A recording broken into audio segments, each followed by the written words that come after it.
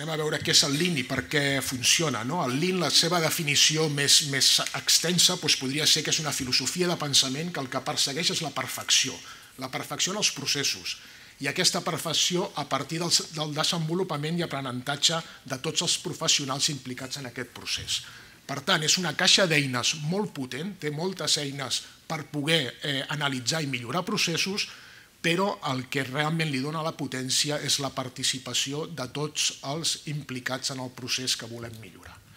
Si anem a una definició més operativa, doncs el Lean seria tot el que passa des de hola, bon dia, vinc a visitar-me, fins ja se'n pot anar vostè cap a casa. Tot això eh, s'analitzaria i aquí podríem reconèixer accions de valor afegit i accions que l'IN reconeix com no valor afegit. El truco és reconèixer aquestes accions i treure's del procés.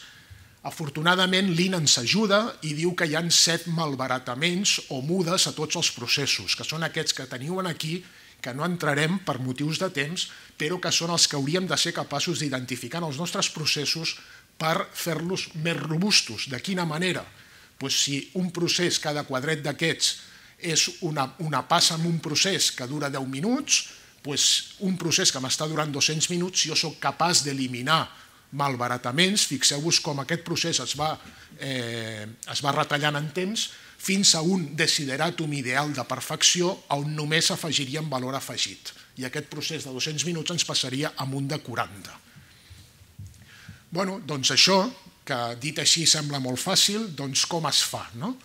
Pues una vegada més. Es fa amb les eines que té el Lean, però sobretot, sobretot amb la gent i amb aquesta eh, coseta que us he posat aquí que es diu una 3.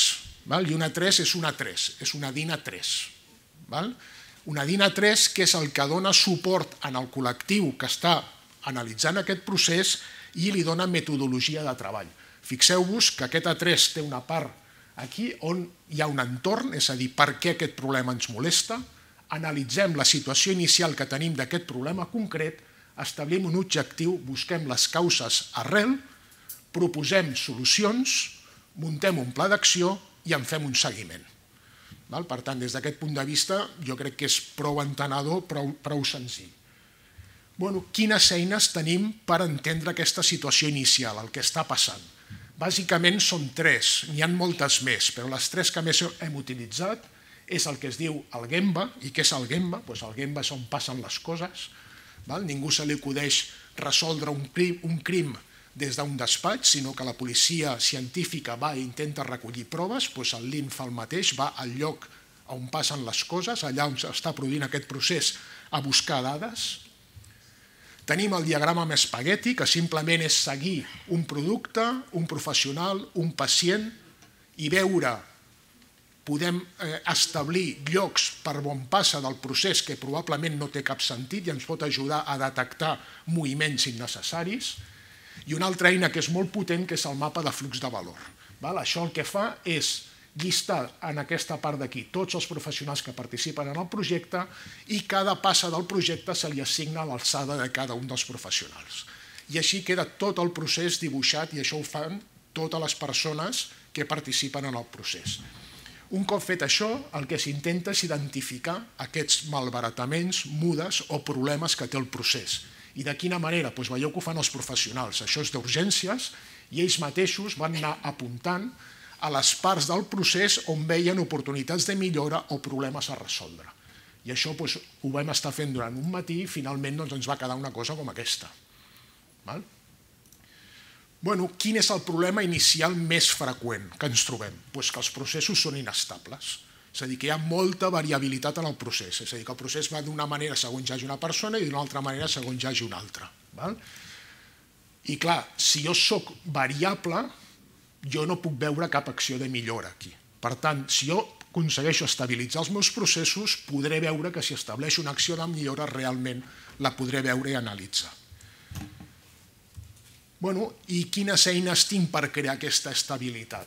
Pues Fixeu-vos que si l'estabilitat es defineix com la millor combinació possible de les 4 M's, i les 4 M's són les persones, és el material, les màquines i el mètode, jo puc eh, estabilitzar material i màquines amb una eina que es diu les 5 S's, que bàsicament és endreçar les coses, és un lloc per cada cosa i cada cosa al seu lloc, amb això tindríem definida les 5 S.